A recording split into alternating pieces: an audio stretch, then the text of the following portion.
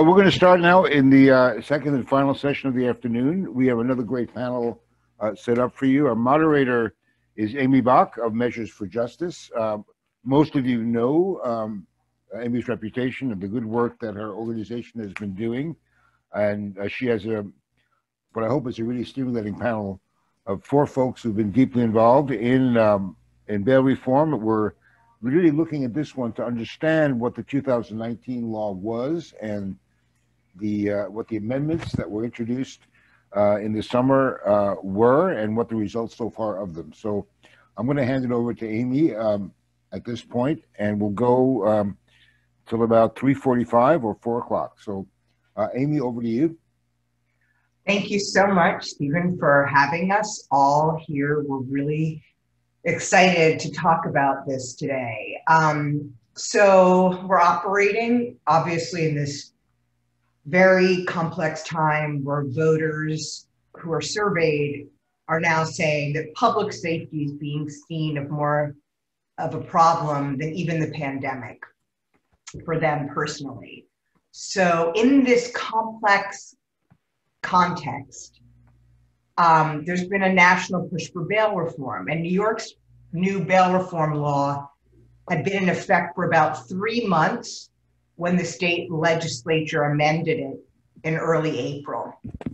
So the purpose of the original bill was to reduce the number of people jailed while awaiting trial, um, because only because they couldn't afford bail. And it was estimated that it would have reduced the jail population by 40% by eliminating cash bail for as many as 90% of arrests in some um, in, in, in, in, some um, counties. So for the remaining cases, judges maintain the option of setting cash bail. But both before and after the law went into effect on January 1st, many criticized its reforms. There was limited data, which is an important point, but some still claim that the law contributed to an increase in crime. And there were a variety of anecdotes in the press that beat the drum for immediate revisions to the new law. Uh, many prominent district attorneys and other law enforcement and public officials also called for change to the new law. So the legislature complied, putting changes into the annual state budget bill, which the governor signed a few days later. Now, the most significant change is that there are more situations where judges can impose cash, cash bail. They have more discretion in setting bail, and the updates really went into effect on July 1st. But it also, the new law also requires court administrations to collect and publicly report data regarding people charged with crimes and what happens during the pretrial phase of each case. This is extremely important to many of us who work on data. The data that the law mandates includes demographic data, criminal history information, as well as details regarding the charged crimes. Now, if done right, this information can show that the bail law is working as intended, right? But it also has the potential to reveal whether the pretrial system is treating people fairly across demographic groups. And over time, the data could also identify which conditions of pretrial release are more and less effective at encouraging people to come back to court. Now, you know, my organization is Measures for Justice. I'm the executive director. I work in Rochester, New York. And we tried for three years to get the court data. We did, and it has a lot of limitations. We wanted all the counties in New York. We only got the five for New York City. And we're still trying to figure out if what we got is a slice of really what's available or if they just didn't give us what we originally asked for for a reason. So um, I'm asking each part, each person on this panel to tell their part of the story so that you can get a full sense of how this bill happened and how it came into existence and then the limitations that came with it and how you can find data now and in the future um, as you write your stories and are sort of walking this complex line um, where you're talking about public safety, bail reform, and of course, there's always the pandemic, which makes everything even more complex. Um, so, what I'd like to do first is just welcome our panelists. And I'm hoping that the Senator and Insha Rahman and Erica Bond and Krystal Rodriguez, could you just briefly say your name and could you say um, what you do and just a very quick, you know, and what your role generally is. And then I'm going to start with the senator who's going to hopefully get this story going. Sure. Thanks, Amy. Uh, I'm Senator Michael Gianaris. I'm the Deputy Majority Leader of the New York State Senate. Um, Everybody. I'm Insha Rahman. I'm the Vice President of um, Advocacy and Partnerships at the Vera Institute of Justice. And since the Senator gave a remarkably short intro, given all of the things that he's done, I'm also going to keep mine short. Um, but there's, I'm really looking forward to this panel.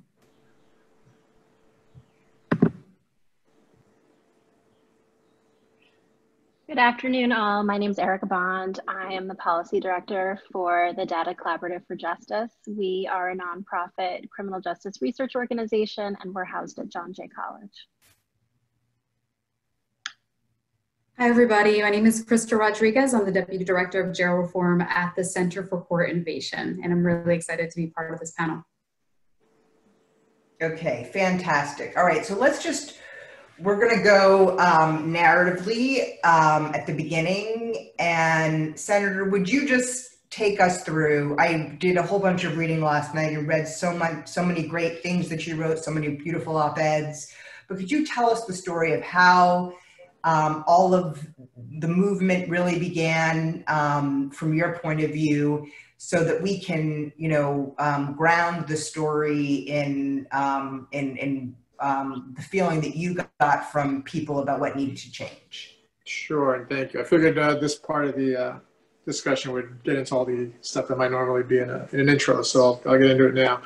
Um, I got into this issue, I think I first introduced what we call the Bail Elimination Act about four, four or five years ago now when we were in the minority in the Senate. Um, and I had come to it just because it was an issue of great interest. I'm an attorney. I've uh, worked on Innocence uh, Commission uh, work. I've done always had a great, great interest in, uh, in, the criminal laws and their misapplication. Um, and one of the things I did in working with the Fortune Society, which happens to be based in my district in Long Island City, was to um, volunteer to be part of their mentor program where people go on to Rikers Island, uh, talk to people who are being held there. Um, the goal is to be a mentor as they come out and help them uh, assimilate back into uh, into society. It was very eye opening but it did inform my work. It wasn't just something I came at academically. I actually um, rolled up my sleeves and really wanted to um, get into it. Um, and so it was uh, very eye opening, um, aside from the, all the stories you read in the papers and know about, to see it with your own eyes and to talk to people who maybe aren't in the headlines but are also experiencing awful things really gives a sense of the need to make change. So the bill went in. Uh, it's one of those issues that um, really saw the light of day because the majority in the Senate flipped. Um, like so many other things we got done in 2019 and 2020, this first term of the majority, um, this was certainly uh, on that list. Um, and we came at it in 2019. It was uh, a priority for many of us. Uh, we were talking with um, a number of the advocacy groups along the way, some of whom are on these panels and, and represented here today. Uh, we also did speak to law enforcement. I want to dispel that myth up front because one of the um, critiques from that side of the world is that nobody uh, spoke to them. We just did this uh, uh at the 11th hour. As I mentioned, the bill was in for years, um, and there were months of discussions and negotiations, including with the NYPD, the New York City PBA, Suffolk sheriffs, DAs from all over the state, uh, the state troopers. Like there was ample opportunity for input from uh, that side of the world. Uh, they may not have liked the outcome, but to say that they were not given the opportunity to opine is, is just not uh, factually correct.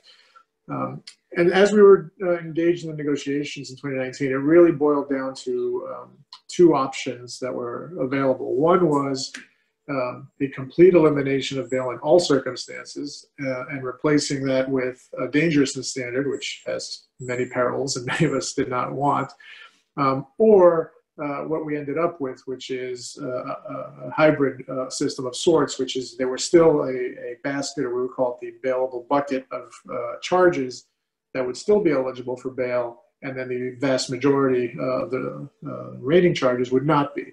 Um, that's where we ended up in 2019. We we uh, passed the bill. It got enacted as part of the budget that year. Um, and it didn't take long for the alarmists to start screaming even before it went into effect. Um, and certainly on January 1, as soon as it did, um, the lies started flowing um, and they were plentiful. Um, there were cases that people were out having nothing to do with the bail reforms. Uh, there were cases where judges had discretion to impose bail and they chose not to, which again has nothing to do with the law uh, that we passed. Um, and it got to the point where um, the New York Post of all uh, outlets debunked the myth, um, and they continue to write about it today. They looked at the available data, they looked at the increase um, in uh, uh, in reported crimes, and they determined, I think, that it was one individual out of hundreds um, that were um, that were charged with shooting crimes. I think is the one they looked at specifically was um, supposedly out because of uh, of uh, not having bail imposed because the law required uh, that there be no bail.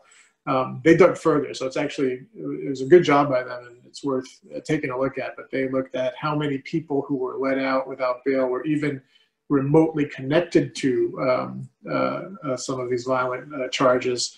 Um, and overwhelmingly, they found to be it was less than one percent of people let out of Rikers were even affiliated in any way with with some of these allegations. And more than half of that, less than 1%, were there either as witnesses or victims. Um, and a huge number of the remainder were, um, were uh, identified as suspects, which doesn't even mean they were uh, guilty or not. Um, Amy, I don't have to tell you uh, the recent news in Rochester. Um, you know, when you're relying on law enforcement to give you data and give you information, that can be manipulated. And uh, it was this exact issue, I think, that's been revealed just yesterday in Rochester, where the police uh, specified uh, uh, Mr. Prude that uh, as a suspect, they changed the report to designate him as a suspect instead of as an individual uh, because they were trying to manipulate the storyline around what happened there. So obviously, if you're seeing that much data confirming that bail reform is working and not leading to additional problems in the streets, and that information itself is coming from law enforcement, that tells you a lot about the truth and where the truth lies. Um, one interesting point, uh, uh, we've had obviously the, the rash of uh, police abuse cases all around the country. And I forget which incident it was specifically, but I was uh, on Twitter as I'm wont to be uh, these days. Uh, and I saw um, a PBA somewhere say, well, this officer was accused. We don't know what happened yet. Let's, you know, let's let him avail himself of his, of his constitutional rights, et cetera. And I said, well, isn't that interesting? When when a potential perpetrator is a member of law enforcement, the PBAs are the first ones to jump up and say, "Wait, innocent uh, unless proven guilty. Let's let the process play out and let someone um, have their rights afforded to them." But when it's not, uh, and usually when it's a, a younger person of color, uh, they want to lock them up, and, and somehow bail reform is, is the big problem. Um, let's all remember where this came from. These are people who have not yet been convicted of a crime. They have been charged with a crime and they have not had their day in court. They have not been convicted. And the only reason they would be held, unless they're remanded, which are very few cases, would be because they don't have the money to pay the bail. Okay, the injustice of allowing a Harvey Weinstein to drop as much as the court requires and be hanging out at uh, comedy clubs and, uh, and, uh, and restaurants, this was pre pandemic, um, while a similarly situated um, a person of color typically who does not have the means would be uh, locked in Rikers for months, if not years. Uh, that is the problem we have taken huge steps to solve um, starting in 2019. We did, uh, as a result of all of uh, the, um, yes, the pressure, but also some of our members, uh, we're just gathering data and um, evaluating the process, granted in a very short window of time since it only went into effect in January. Um, and we do engage in a democratic process. Uh, so uh, we did have a, a point where uh, the legislature, both houses, decided to make some changes. Um, they were, uh, I would say, fairly modest. The governor, in particular, wanted to reinsert dangerousness into the conversation, so we managed to avoid that. um, and we expanded that bucket um, that I referenced uh, earlier. Uh, most notably, I think, I mean, a lot of the, the charges on the increased bucket were pretty um, uh, obviously needed to be in there. I don't think even uh, many in the advocacy community would object, but there were some instances, and I think the one that may have a big impact is um, on repeat offender, re allegedly repeat offenders while out on uh, without bail in the first instance. So there were a number of highly publicized cases. I think it was like the bank robber or, you know, uh, someone who would break into cars repeatedly who would just be getting processed on an arrest and then be back out and allegedly doing the same thing again. Um, and so we did um, change the law to say that if someone has been released without bail um, and is alleged to commit another crime that um, has a victim, a victim, you know, victimless crimes are not included, but it would be a victim against a person, um, an identifiable person, then that second allegation would be bailable. We did also add, manage to add in, I think, Amy, you mentioned the new reporting requirements, which we've been trying to get uh, for a good long time. So some good came out of that. Um, and uh, we're now in the period where a lot of things have been conflated. Bail reform is a phrase that people understand or misunderstand, but they know it's something that happened. Um, but there is uh, an increase in reported crimes now, and everyone's trying to figure out why that is. I should note it's happening all over the country, and so places that did not engage into bail reform process are similarly experiencing this. The pandemic and the economic downturn has obviously caused havoc in a lot of ways. Um, we also had um, uh, numerous people who were incarcerated uh, released because of concerns about COVID-19 uh, in the jail system. Uh, the NYPD in particular has made some policy changes uh, that uh, arguably have had an impact in this arena. and so all of these things bundled together, um, people like to just say they're all at fault and, and, people are using, frankly, bail reform as a political tool right now. We're in election season after all. Um, as the boogeyman that has caused this, when, when the data, as documented by the New York Post, makes clear that that is not at all the case. Um, and so what we're now hoping is that we, we do have these uh, uh, semi-annual reports um, that will be coming, and the hope is that we will be able to make decisions going forward on genuine data and real information and not just anecdotes or sensationalized headlines. Um, and that is that is where we are. I like to say that some people were happy with what we did in 2019 and unhappy with what we did in 2020. Some people were unhappy with what we did in 2019 and happier with what we did in 2020. Some people don't like any of it. Um, but I, I, like to look at everything holistically. This was our first term. Uh, I would compare where we end up December 31st of 2020 to where we were December 31st of 2018 and judge that body of work. I think it was uh, Krystal's group, if I'm not mistaken, Center for Court Innovation, that took a look at it and said, even after the first change and the second change, we're still at the point where upwards of 80% of charges that normally would have been bailable are now not eligible for bail. So we have made had a profound impact um, on the uh, criminal legal system uh, in New York, and uh, I believe it's for the best.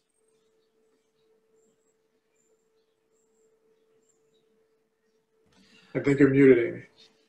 Host would like me to unmute. Oh, thank you so much. That was in incredibly um, powerful, and you also really set the stage. Let me just ask one follow-up question. In terms of um, the legislation and in terms of journalism, what are stories that come are top of mind for you? If you could reach back and think which ones did good, which ones um, may have misrepresented what was going on. Um, I just was before we go on. I think that's like an important thing since our audience is journalists here. Like, can you get? Do you have? Is anything come top of mind for you? If not, okay. Oops, you have to unmute yourself. yeah, we're all we're all falling victim to the same thing. Okay, um, it's interesting. I mentioned how helpful the New York Post was. They obviously are. You know, they're a tabloid, and they love their um, catchy headlines, and they you know they they were just as quick to sensationalize some of these cases that didn't have anything to do with the law. But I, I do give them credit for doing the work and, and looking at the numbers um, ultimately. Uh, the New York Times has done some good work on uh, evaluating, uh, and then, you know, the, the, the, issue with a, uh, a complicated uh, uh, issue like the one we're dealing with is that it takes a lot of space and a lot of resources and a lot of commitment on the part of all of us, including um, uh, journalists, to dig into it and find out the truth. And we're in an era of uh, economic issues on the on the press side. Obviously, that's not what we're here to talk about today, but um, there's a lot of outlets that maybe don't have the ability to do that. And so, I, I um, it's something we're all struggling with. But you know, the the cases that that are top of mind that you mentioned are generally the ones that um, didn't have uh, anything to do with the current law or really highlighted a separate issue, which is uh, mental health uh, um, related problems that so many incarcerated people have. There was the woman in Brooklyn who I think was slapping That's what I think. people, right? Um, woman in Brooklyn who attacked Hasidic Jews, and then yes. there, and there was also the Jennifer Gonnerman New Yorker piece, and the tragedy that happened afterwards. But that really, like that, I mean, that took a one-person story and just made it so real for so many. Yeah, there was the repeat bank robber I mentioned earlier, but the the the issue people have to really get their heads around, and it requires them to get past the first level of, of conversation, is what good would it do to take that woman and put her in Rikers after she gets evaluated? She probably will be out on the streets again regardless, and she would not be receiving the help she would need in the meantime. Um, and so when you're dealing with people who maybe need social services more than they need to be incarcerated, you're actually doing a good not just for that person, but for all of society because you're generating repeat problems by not tackling the underlying issue that's driving a lot of it. And one of the problems we had as we were trying to uh, push back against that with sto- success stories is by definition, these people that we're talking about have been charged with crimes. And so there's a success story. Here's someone who's out on bail and is keeping his job and providing for his family, but he doesn't want to talk about it because he's going to be on trial in a couple of months and he's not really looking to put a spotlight on himself. And so we didn't have the ability to counteract uh, uh, the stories that were being written in the papers with the success stories on the other side.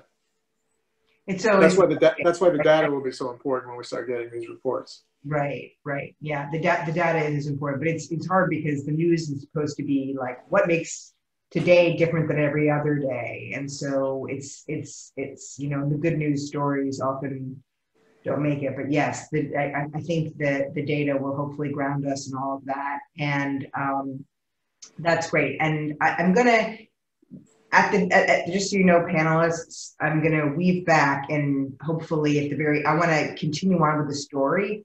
But um, I'm, at the end, I want to loop back with all of you and ask what stories weren't told, what stories aren't being told, and what to watch on the future. So that's coming as my next question. But before we go there, um, Insha Rahman, we are so lucky to have you here. Could you please tell us about you and Vera's role and everything that you did, um, sort of picking up the ball here? Um, um, and, and, and also, I mean, your organization has a profound amount of data. And if you could talk about sort of the landscape and what it means to have this legislation that does mandate, even though it's slightly unfunded, mandate. Um, yeah, if you could please pick up the story of where he left off. Sure. Um, so I actually began my legal career as a public defender up in the Bronx. Um, and I watched bail get set on people I represented day in and day out. And every single time bail got set, I always wondered um, did the judge set $500 bail because he thought the person I represented could afford it and intended for the person to be released? Or did the judge intend for my client to remain in, incarcerated pre-trial?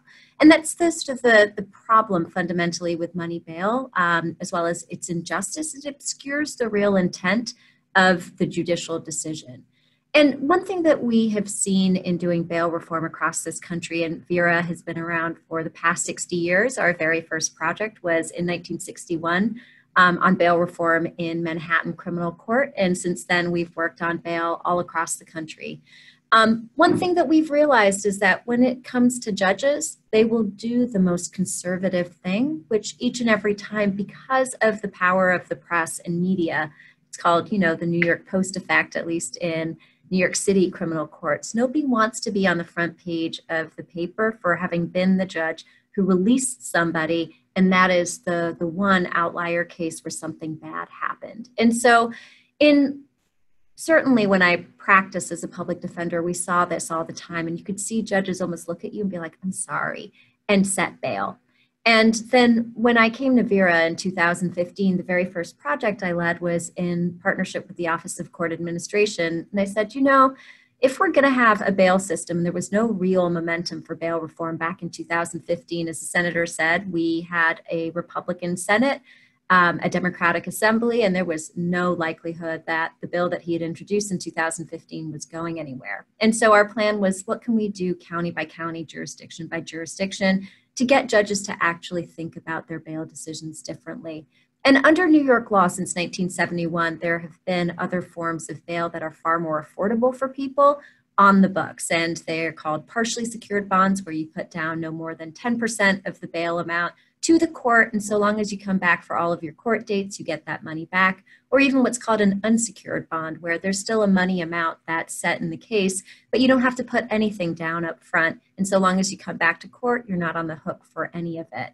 And both of those options are far more affordable for people than the kind of bail that got set day in, day out in New York courts, which is insurance company bail bond, having to go to a private bail bondsman um, to get bailed out.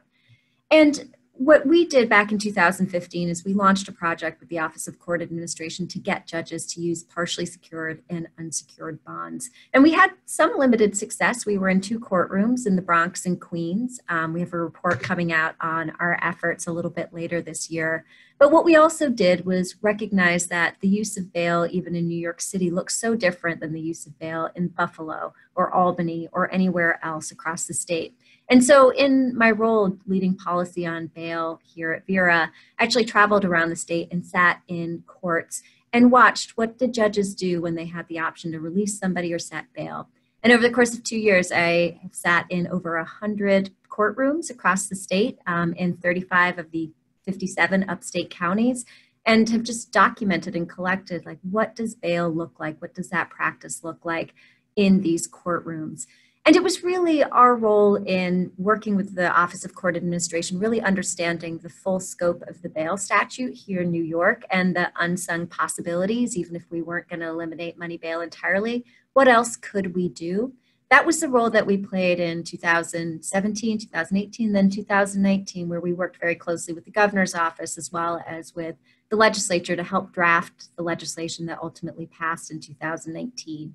And from our years of working on bail reform, I'd say there's four key objectives when we pass bail. The very first is just to simply make sure that there are far fewer people in jail. We as a country and here in New York State, we've too often conflated public safety with incarceration.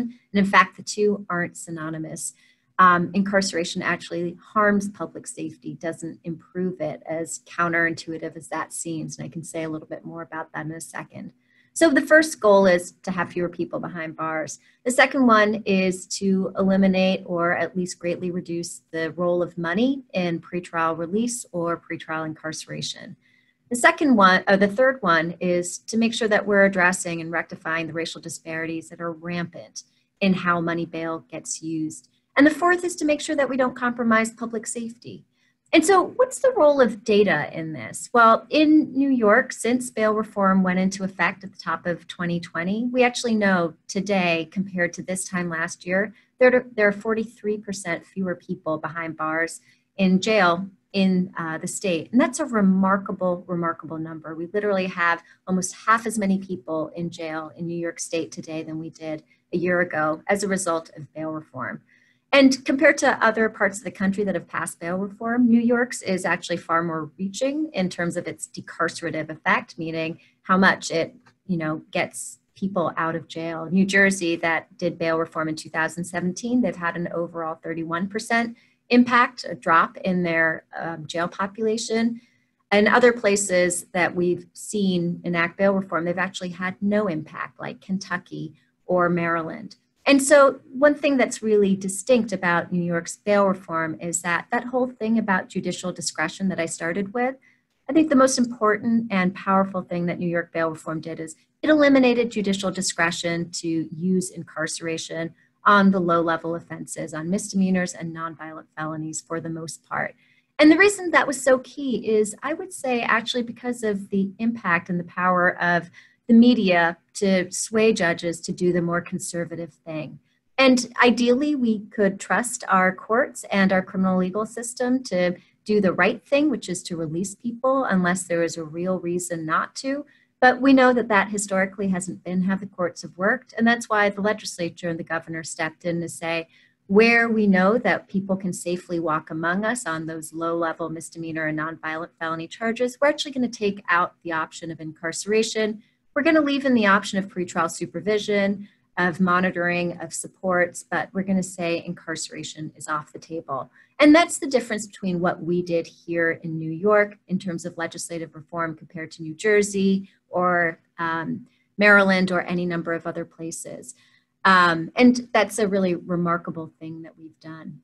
In terms of racial disparities, we've been collecting jail data from across the state and looking to see how bail reform has impacted um, who is incarcerated, especially Black and Brown New Yorkers. And um, we're still combing through that data, but we're already seeing a huge difference, not only in the drop in jail population, but who remains behind bars. There's so fewer people on misdemeanors and nonviolent felonies now in jail in New York State, that actually means there's far fewer Black and Brown New Yorkers behind bars. Because what we saw is the greatest and grossest racial disparities in terms of arrests and setting bail were on people who were charged with misdemeanor drug possession or low level larceny. All of the offenses that, under the new law, um, judges can't set bail on and people are automatically released. And then, third, in terms of making sure that we are using money less. Um, as the senator said, originally what passed, um, you know, eliminated the use of money bail for about 90% of all offenses, even with some of the rollbacks that got enacted this year. Now, upwards of 80% of all offenses and all arrests aren't subject to money bail. And that's a huge decrease in the amount of wealth that's being taken from poor Black and Brown communities in New York and put in the hands of the bail bondsman or in the courts.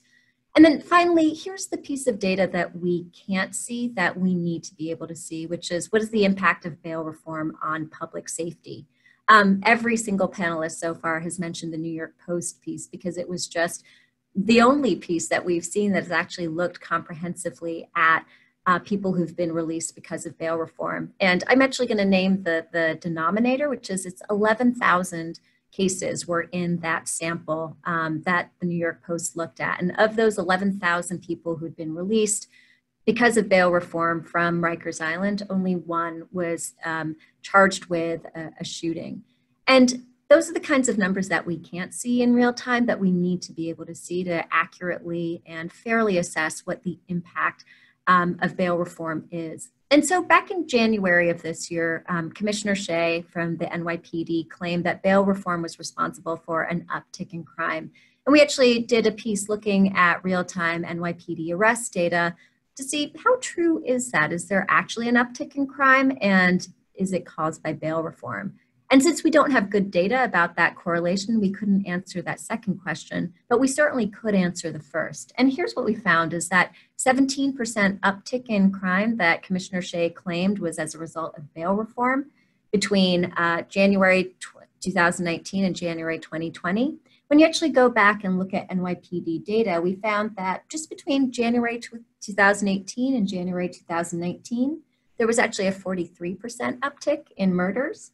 Um, between January 2015 and 2016, there was a 25% uptick in felony assaults. This is all the NYPD's data.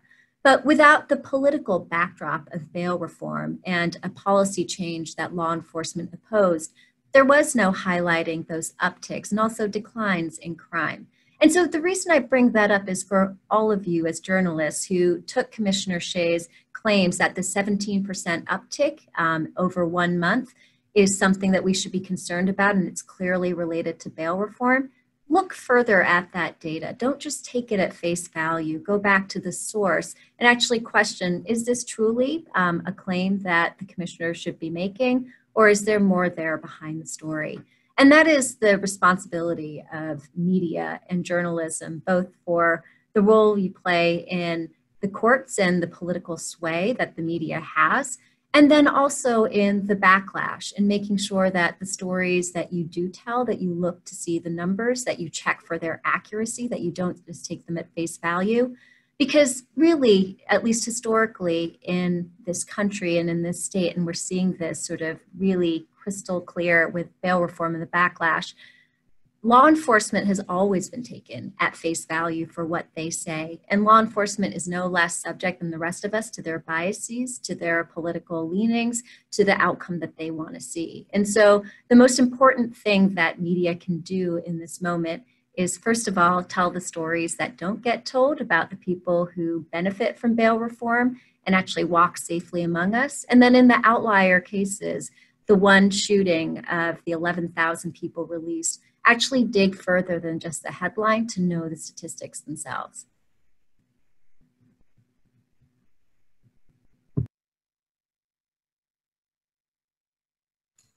That was terrific. Thank you so much. Um, would you just take um, a few minutes and just, when, when you talk about look at the data, um, you know, New York data is siloed in many different places.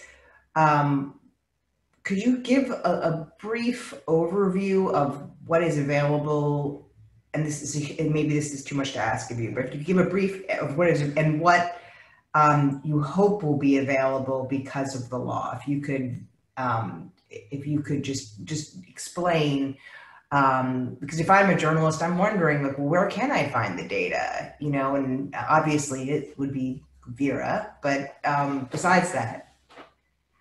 Um, so New York data is even worse than data that we've seen in some other places, like Florida has better data than we do. Um, there's a number of states that do, which is really too bad because it makes being able to track in real time what we do difficult. It also means being able to tell good stories about what's happening difficult. And so here's what does exist. New York City actually has remarkably good data, both on um, law enforcement and arrests, as well as um, very good jail data that they release every day. Um, and that's a result of sort of local ordinances and laws that require our local agencies to do a good job of reporting. It's much more checkered across the rest of the state. Um, court data is pretty much non existent. It's hard to get, it's not published anywhere. And part of the reason for that is New York is somewhat unique in that we have one you know sort of court system through the office of court administration then we have if you live across upstate new york this is familiar to you town and village courts which don't operate under the same data system, the same databases as the Office of Court Administration Court. So there's a fundamental problem with being able to collect court system data. And Amy, you said when you have been asking for three years for court system data, you got five courts, which were the New York City courts, which have much better data collection than any of the others. And I'm sure there was no way that you would ever get the town and village court data, even if you got upstate court system data from the OCA system. So there's a lot of work to be done and hopefully the legislature and the governor's office at some point when we get out of a pandemic and this recession think about how to collect data and create a court system that actually allows us to be able to track in real time what they're doing. And I had mentioned New Jersey earlier and that New Jersey passed bail reform in 2017. One thing they did was spent two years actually updating their entire court system and their data collection so that when bail reform was enacted, they could collect and release every single month what exactly was happening with bail reform, with release decisions, detention decisions, in a way that we just simply haven't been able to do here. In terms of um, law enforcement data, so police departments, sheriff's departments, again, across upstate New York, a couple of um, agencies, Buffalo posts some data, Albany posts some data, but most do not. Um, and again, uh, doing FOIL requests and things like that are the best way to get that data, or asking for local legislatures, county legislatures to request that data and turn it over is another way to make it public. And then finally, one thing that we do very well is we do publish um, jail data every month. The Division of Criminal Justice Services releases this data in real time. So that statistic that I just mentioned about a 43% in the overall jail population from this time last year, that's just DCJS data that's publicly available in their open data portal. So those are the three main sort of pieces of data that we want to look at. That's where currently the state of play is with what's available or not.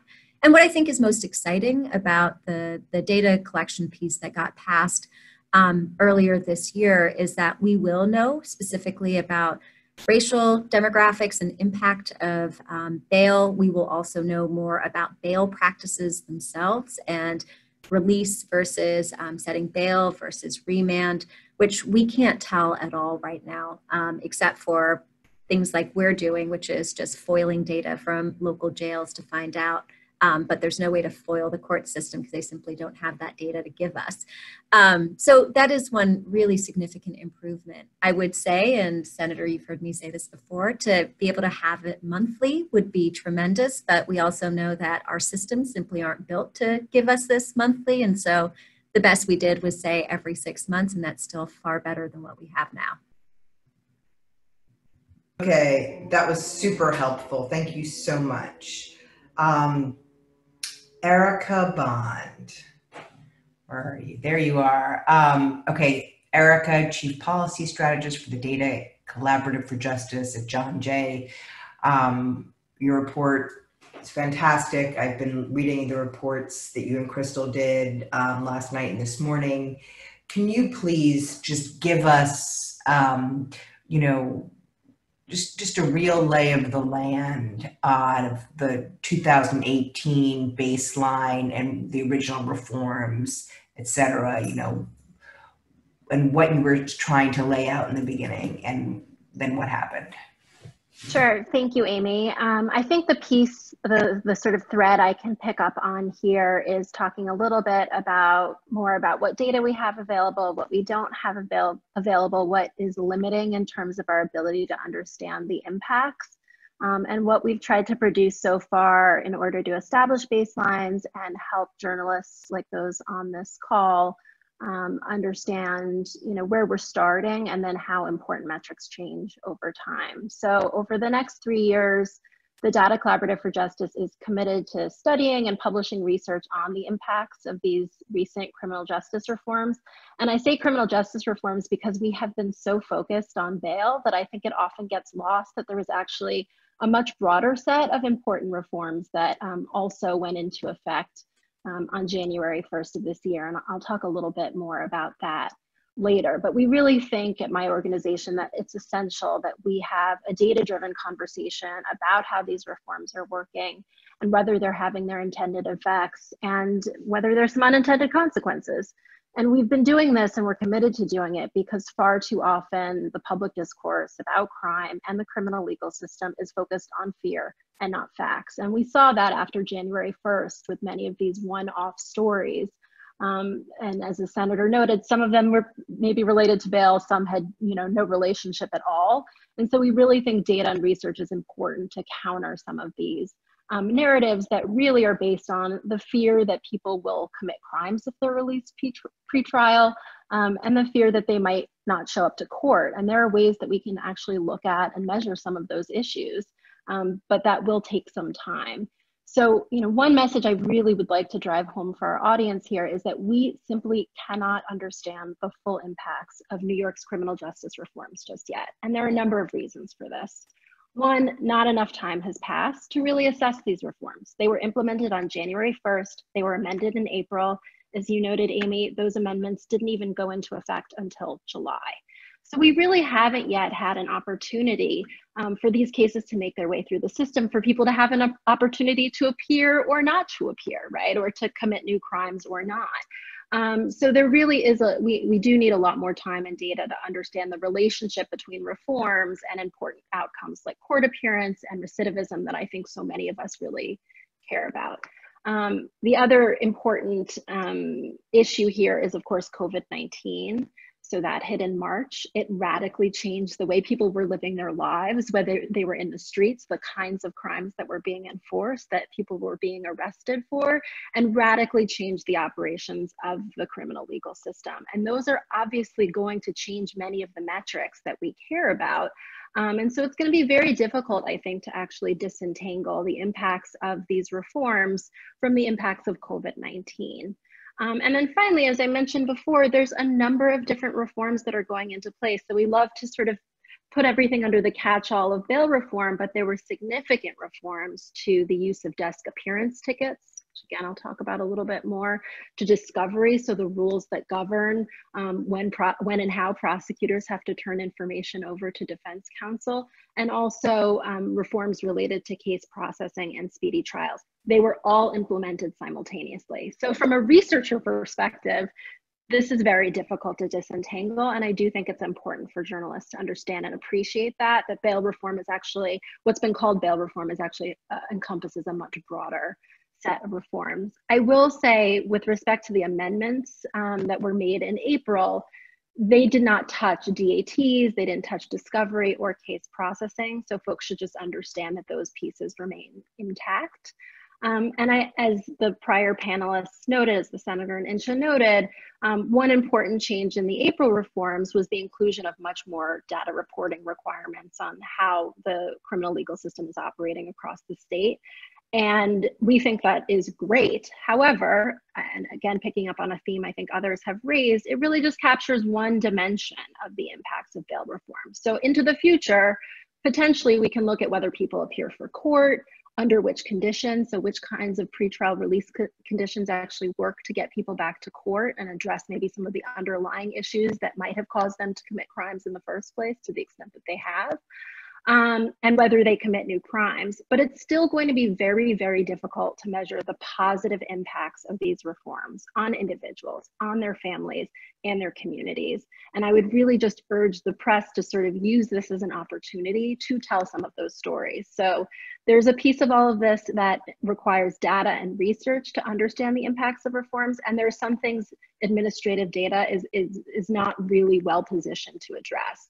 So while we're taking a step forward in terms of collecting data to understand how our criminal legal system is operating, what is uh, not fully addressed is sort of the collection of information about how communities benefit when additional folks are released pre-trial. Um, and again, I think that that is a real opportunity for the press to come in and fill those gaps, and the senator spoke to that earlier. So the bottom line is we need more time, we need more research, and we need more data to fully understand the impacts of these reforms. And while we wait for enough time and data to accrue to conduct these more meaningful empirical assessments, we've been putting out a couple of reports really to help set expectations for how these reforms are going to impact New Yorkers. The first report um, focused on an underappreciated aspect of these reforms related to desk appearance tickets. So um, currently under the new law, as of January 1st, uh, police departments are now required to issue desk appearance tickets for most non-felony offenses and most class E felonies. And that means that for a broad swath of crimes, police will no longer be making custodial arrests. And instead, people will receive a ticket that requires them to show up for their first court appearance within 20 days. So previously in many of these cases, an officer would make an arrest someone someone could be held up to 24 hours they'd appear in court and at that point the bail decision would be made right? Whereas now in a much larger set of cases folks are going to be released with a ticket and asked to return to court within 20 days. Previously departments had the discretion to issue tickets for these types of crimes so non-felony offenses most class e felonies and in fact, our research showed that the departments and police officers were actually issuing DATs regularly. So this is not a new tool. It's one that's been used in the past. The difference now, and to Insha's point about discretion, but in the policing context, now there is no longer discretion on the part of um, police departments to issue DATs in this broad set of cases. So we looked back at 2018 because we really just wanted to understand how have DATs been working in the past so we can understand moving into the future post implementation of the reforms, how they changed this practice. And what we found was that in 2018, across the state, 30% of arraignments involved a DAT. And there was actually really substantial regional variation. Um, so in New York City, it was 22% of arraignments, and the New York City suburbs, it was 60% of arraignments. Um, and that kind of goes to show these reforms can have substantially different impacts across the state. And that is something that I think we all need to, to pay attention to in the future. So, so why does this matter? Um, much of the rationale for bail is to get people to show up for court. And the debate about bail reform has focused a lot on whether people who are released without bail will show up to court or whether they'll commit new crimes. But this has really ignored the fact that under the new reforms, the default for most arrests will be a DAT. And that means a significant percentage of people will receive a ticket and they will remain at liberty with no conditions attached for several weeks before their first court appearance. Now, this isn't a bad thing per se, but it does complicate our ability to understand and disentangle the impacts of bail reforms um, from DATs on things like court appearance and recidivism. Now, the good news is that what we found when we looked at 2018 data is that the overwhelming majority of DAT recipients statewide, 85% of them showed up for their first court appearance. Again, significant geographic variation in, in appearance rates. And that I think starts to raise some questions about whether additional resources are needed to ensure that people show up to court. Um, and I think, as was alluded to before, there weren't a lot of resources dedicated to assisting localities with implementation of these reforms. And I think that's going to be an even tougher um, sell given the economic circumstances that we're dealing with now as a state. Um, but I think if we see in the future that court appearance rates are falling in different parts of the state, there is an opportunity to have a conversation about whether we should be dedicating more resources um, to helping people show up. Because I think what we'd hate to see is um, a circumstance where folks say, oh, the reforms failed, when in fact there are things that we can do between rolling them back um, and just letting them stand um, as, as they are. So in the future, we'll continue to look at this. We will establish a baseline for DAT issuance in 2019. Um, and we'll look at charges, we'll look at differences by geography. We always look at demographics um, and, and we'll continue to study this issue of, of DATs moving forward. So that was our first report. The second report focused on estimating how the original set of bail reforms would have impacted rates of release in 2018 cases. And I'll just walk you through some of the findings there. So had the original reforms been in place in 2018, new, and this is for New York City, we weren't able to do this statewide, though we will do this in the future statewide. Um, in New York City courts, had the reforms been, the original reforms been in place in 2018, uh, they would have been required to order some sort of release without bail in roughly 20,000 additional cases. So what actually happened in 2018 was 105,000 cases resulted in release without bail. Had the original reforms been in place, that would have been 125,000 cases.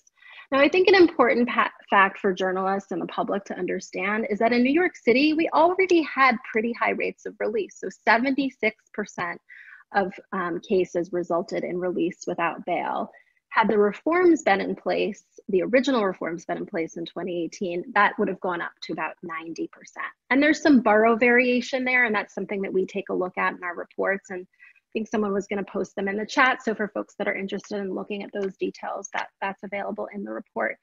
Um, and then another, I think, important uh, fact that we included in our report was around the economic, the potential economic impact of these reforms. So what we saw was that for these 20,000 cases in 2018 that would have resulted in release without bail had the reforms been in place, there was $250 million of bail attached to those cases. And so when we think about the impacts on individuals and communities and individuals' families, I think we have to think about the significant dollar amounts that had attached to these cases. Um, so put another way, what actually happened in 2018 was $435 million of bail was set. And with the original set of reforms, that number would have only been 243 million. Now, that's still a very large number, right? But it does give you a sense of the kind of economic burdens that bail was imposing on communities um, prior to the reforms and how that might change, um, would have changed with, with the amended reforms. So clearly the amended reforms will impact these numbers. And I think Krystal and CCI have done some great work to look at the amendments and, and Krystal will speak to that when she's talking about her reports. Um, for this audience, I really just want to preview what they can expect from our organization in the future that might be helpful for their reporting.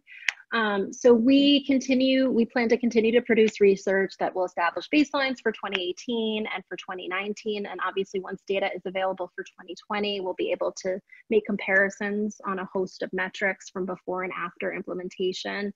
Um, we have an upcoming report that will look at uh, the original and the amended reforms, how they would have impacted 2019 cases. This is similar to what CCI has done, but we're going to look at some specific questions around how they would have impacted various types of charges um, and various groups of people. So looking at race, sex, and age. We'll also look at um, variation as well.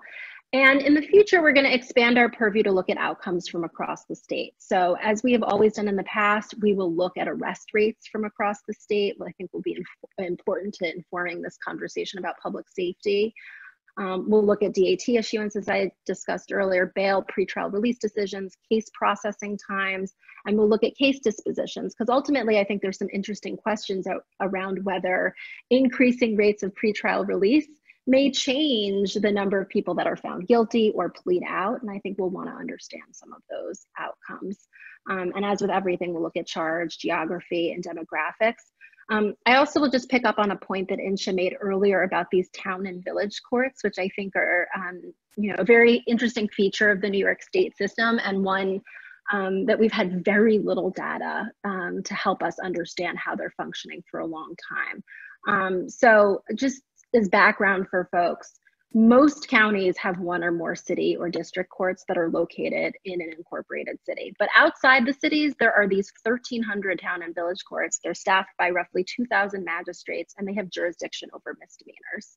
And traditionally, they really have not reported into these statewide data rep repositories. So when we were thinking as an organization, how are we going to measure and understand the impacts of reforms, we knew we had to find some alternative approach. And so what we've done is we're partnering with uh, wonderful researcher upstate, Alissa Worden with the Finn Institute.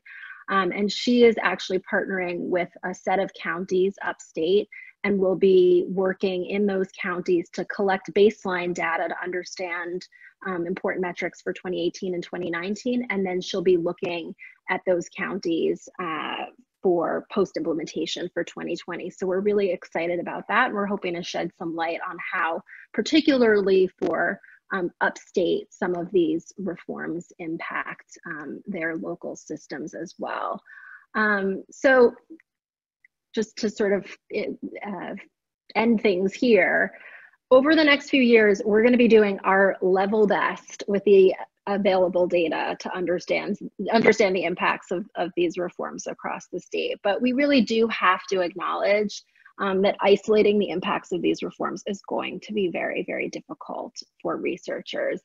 Given the realities of COVID 19, the economic and social upheaval that has accompanied the pandemic, it's very likely that a host of other factors are going to impact things like crime and whether people show up to court um, and recidivism. And I think it's also important that we really recognize the, the disproportionate impacts that the pandemic is having on communities of color um, that have also historically been most entangled with the criminal legal system. So, so we're very much committed to studying these reforms, um, but we also recognize that a lot of the research that we're going to be producing is actually going to be measuring a much broader set of issues during a time that will be a very difficult time, I think, for individuals and for their communities.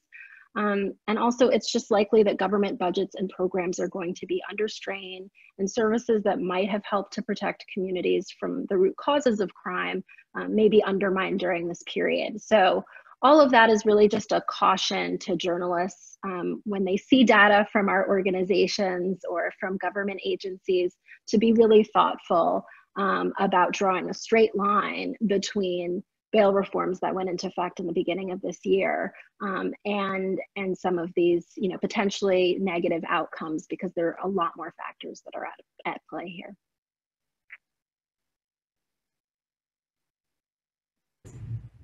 Um, okay thank you so much. I'm really excited about the justice court work that you're going to be doing. And i mean just to put a face on it you know, these justice courts, they exist throughout the country, right? There are these, but generally they're in more um, rural places. Like you'll see that in Mississippi, you'll see that there's a lower court judge who's may not be a lawyer, right? And that person, the idea is that that person is like tied to the community and can decide, you know, what a charge is so that it can go to a higher court. But it's it's it's amazing that we have that in New York where we do have such a large population of attorneys and you know and and where you know so many of these these people that decide misdemeanors and affect so many people in the communities they they aren't attorneys and they are adjudicating over these incredibly important matters. So it is that that work on justice court is like to me it's like a, it's like pioneering. Like it's really like incredibly important.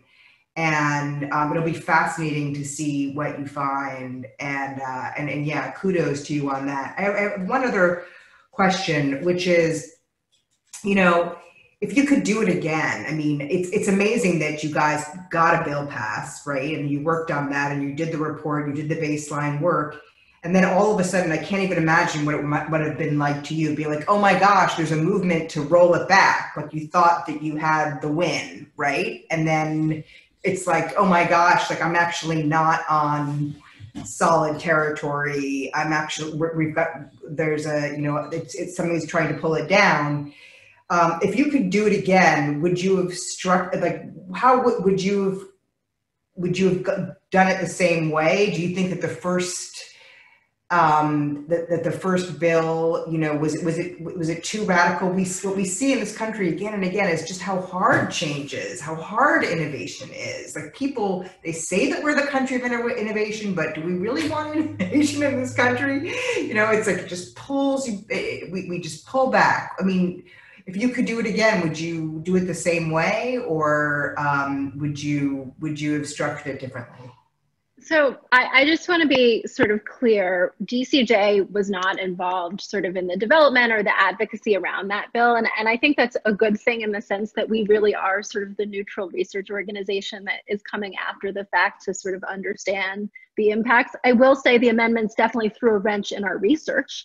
Um, you know, we thought we'd established the baselines and we sort of understood how to set expectations and, and certainly things changed a bit with the amendments, which is why um, I'm, I'm thrilled that CCI and Krystal have done this great work to help us understand uh, the, the impacts of those amendments. Um, because I do think there was certainly just my observation in the advocacy community a, a real concern about the amendments and the extent to which were, they were going to roll back the reforms. And that's where I think research organizations like ours have a real opportunity to say, okay, let, let's, let's get some data and try to understand like how much the, the ground has really shifted under our feet. Um, and so I think I think Krystal will have some some interesting thoughts there on, on the amendments. So I'm going to pass on to Krystal unless Senator Insha would like to add anything before we move on. Krystal, take it away. We're really excited to hear um, on the impact and, and everything that you've been working on. Sure. Thank you so much. And thank you to everyone who has gone before me. You all have laid such a great context and background. And I, I just want to start by highlighting something that's already been said, which I think is really important to this conversation. When we talk about bail reform and its impact on public safety or its impact on people appearing before court, as I think Insha and Erica both noted, overwhelmingly, this is true for New York City, folks were released. Judges deferred to releasing people on their own recognizance in an overwhelming majority of cases. Now, why I think that's important is because what we're now fearing is judges releasing people on their own recognizance or releasing them with what has been added to the statute, non monetary conditions. And I will talk a little more about that. Um, but what I think is important about this point is that we I, when it gets reported i think it should also be noted that ROR has been on the increase for years now. So folks have been having to return to court. And in fact new york city residents are pretty good at coming back to court overwhelmingly. They show up for all their court appearances as i think everyone in this panel is aware of. And also um, even when they don't which is about 15% of the time um, they still return within 30 days, right? And oftentimes folks appearing in court are not as a question, not of uh, wanting to abscond, but really a question of other barriers to making that court appearance. Um, now, turning to the amendments more specifically, um, what we sought to do in our report is offer some projections um, for what effects the amendments would have. So we, we first did this last year as a response to the initial reform bill passing, and much like Erica identified the whiplash of amendments passing just two months or three months after the first round of, of reform uh, went into effect, what we sought to do was try to inform folks on what we think could uh, happen. Um, and one thing I want to say is that in the, the initial goal, as has been highlighted of the bail statute, was to reduce the number of people in jail. And in fact, the initial rounds of bail reform did exactly that. Uh, exactly that in New York City, it was to the tune of about 40% of the jail population was reduced. And that happened pretty quickly, right? Because we were looking at March 5th, pre COVID, and I can talk later about why we chose a pre COVID time point. But prior to the emergency releases that occurred, we already saw a 40% increase rather quickly. Um, another, another thing I want to say about the amendments before we start talking about the impact of those amendments is that one, it did broaden the category of offenses and folks who are accused and come before the court who could be eligible for bail at the stage of arraignment. It also added to that list of charges that would be bail eligible um, but it also audit added non-monetary conditions. So to explain and sort of compare data from 2020 going forward to prior years, that's another added challenge and on top of what everyone has already mentioned is that in addition to ROR and bail, now there's this sort of middle ground that has been created by first the initial reform and then added on to with the second reform of these non-monetary conditions that judges can use in their discretion to ensure someone appears before court and to ensure that people are compliant with um, whatever court um, whatever court conditions are in place. Um, now, with regard to the impact on the jail the jail population, and we're talking about specifically the pre-trial jail population. So we were over 5,000 back in April of 2019. Early March of this year, the pre-trial population um, was about 3,014. Now, what we anticipate um, looking at the numbers, looking at the categories of offenses and charges that will now become eligible again in light of the amendment, is that there could be a 16% jail increase of that pre-trial uh, population. And again, that is not relative to where we were prior to any reform passing. That's relative to where we were early March. So, and, and I say that to say that that's that we to, kind of to the point that Senator Gianaris made earlier. There still will be a significant jail reduction with the amendments. Um, we do anticipate a 30 percent jail reduction um, if comparing that to 2019 without any reforms being in place. Um, so some of what we found is that we're looking at judicial practice during 2019, looking at the universe of cases where judges set bail when bail was an option in all matters um, looking at those charges and thinking through the, the, the frequency at which they occur in the court, court cases that courts see in New York City courts, um, there's three charges that will likely contribute or will most will most contribute to the to those jail that jail pre-trial population increase. Um, and that includes burglary in the second degree in the living area, cr criminal sale of controlled substance in the first degree, and criminal possession of controlled substance in the first degree. Now, there's a lot that we do not know, right? And that we don't currently have an analysis or findings on what exactly has been the crime, the effects on crime and public safety for all the reasons that have already been stated.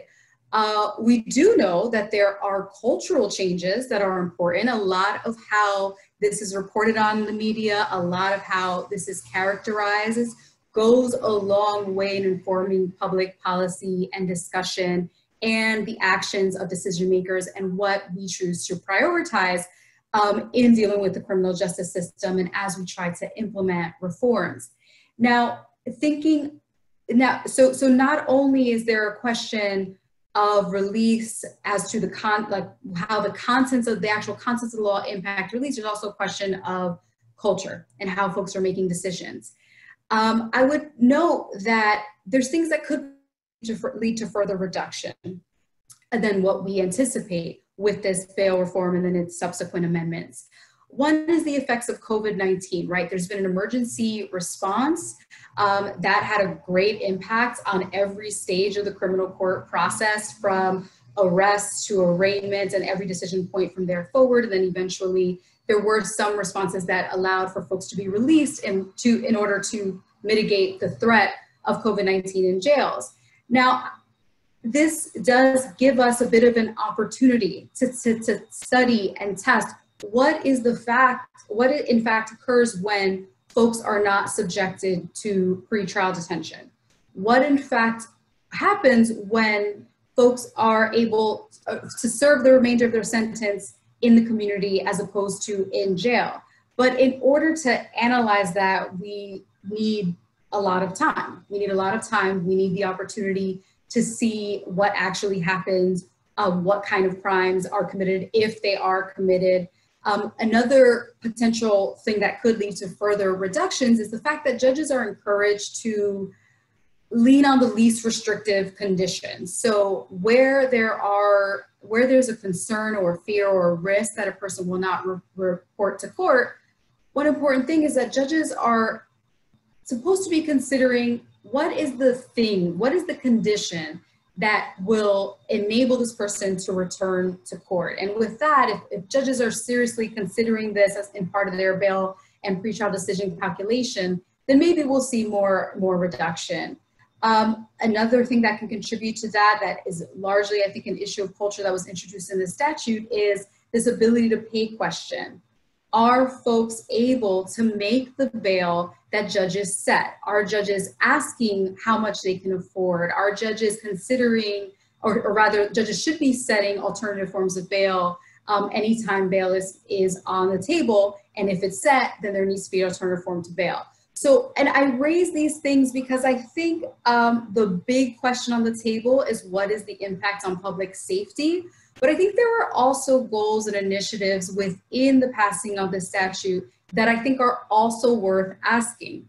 Does this statute end up having an impact on wealth based disparities? Are judges changing their practices such that we're not over taxing already we already know that black and brown people and poor people are over overrepresented at every stage of the system does that continue or does this um, does this reform do what it intended to do um, in mitigating those racial and ethnic disparities in mitigating um, those wealth-based disparities and so as folks are writing and reporting on all the impacts, including the impact on public safety, which will take us time to see, I'm hoping we could also make that part of the public discourse.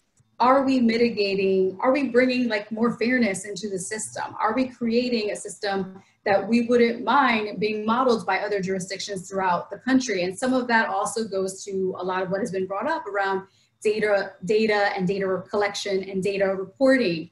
Um, this amendment goes a long way in creating a level of transparency and accountability that will allow us to have these honest conversations it will take time. There's infrastructure that needs to be built, um, and there's information that needs to be shared. But it does go a long way in identifying very specific categories, not only requiring that courts and agencies like DCJS collect um, subgroup breakdowns, like who are the people, what is the racial and ethnic breakdowns of folks coming through the system, but also what are the outcomes in the court process? Who's being released on their own recognizance, who's being made to um, follow other non-monetary conditions, who is who's bail being set on, and are they able to pay? How much pretrial detention are we still relying on? So I guess um, as I think about these issues, and I'm happy to I, I I'm happy to answer more questions about the report, but I, I just want to highlight that this is much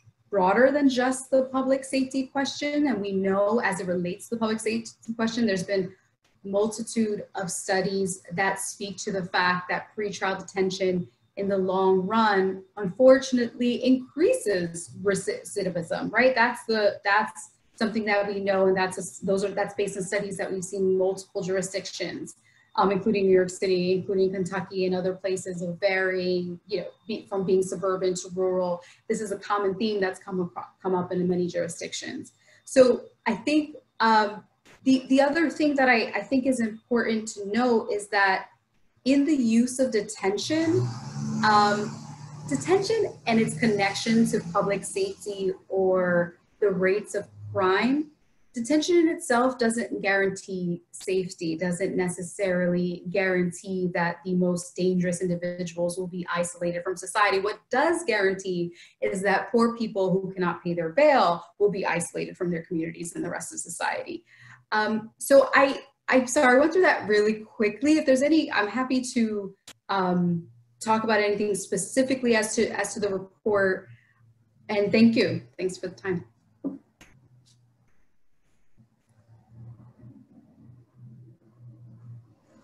Okay, uh, we have a bunch of questions for you in the Q and A, um, um, and for and for um, uh, a, a, lot of the speakers. But so let's start at the top. Um, Senator, um, question from Jennifer, Jennifer Gilroy Ruiz. Um, I had to step away and may have missed this. If so, I apologize. You mentioned that law enforcement did participate in the planning of CJRA. What outreach, if any, was there to victims of crime and organizations who represent them? For example, Safe Horizons, Sanctuary for Families. Well, a lot of the um, the meetings were run through our central staff and our criminal criminal uh, uh, attorneys uh, on the Senate staff. So yes, there was outreach. Um, I know specifically that a number of domestic violence um, victims organizations were involved in the conversations. Uh, I don't have at my fingertips exactly the entire list, but I know there were uh, victims groups represented in the uh, in the discussions. Okay. Um, I, I, have a question for you just while we're on you. Uh, uh, it was sort of the question that I sort of um, asked Erica, um, but do you, if you could have structured the bill differently, would you have from the very beginning? And is there any kind of a sense that this is um, that, that, that this is a lesson in terms of how to write the bill? Um, for, uh, for a, is this some sort of um, you know for, that we should be learning about for for national?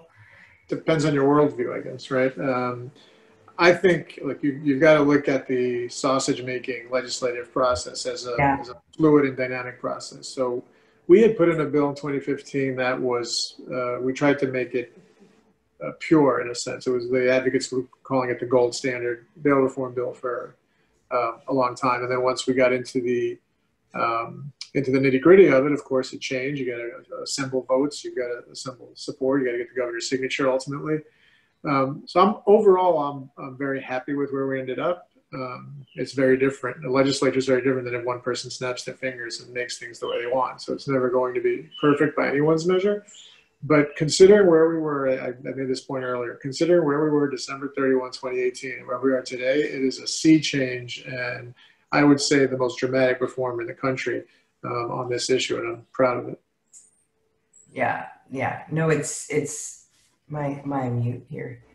Um, no, it's it's it's truly amazing. We we find this all the time at our organization that it's often like ten steps forward, two back, um, because again, like change is hard, and we see this in everything, right? I was just listening to this amazing or um, thing on uh, the Daily yesterday about environmental problems, and even after the fires come and you know get rid of a whole community, there's still a sense um, that you know we need to rebuild right away, even though there could be other changes that we need to make to prevent the fires from happening. It's very hard not to keep things the same. So the fact that this has come so far since 2018 is is it, it is it is mind blowing. And, and, if I may, I'm I'm very anxious and um, eager to move. I think there's a lot of change that we need in society, and so I'm putting my foot on the gas all the time And to some degree, we're a victim of our own success. 2019 was a legislative year like no other in the history of our state. We did uh, a whole panoply of things from, you know, immigrant protections, tenant protections, best climate change law in the country, uh, the bail reform bill, um, codifying Roe v. Wade. I can go on and on and on about all the things we did. And it was almost so uh, successful that everyone just expected us to keep going forward. We have a lot more to do, by the way we haven't done halt, we haven't done the less is more bill. We've got uh, a long list of things we can continue doing to fix our criminal legal system.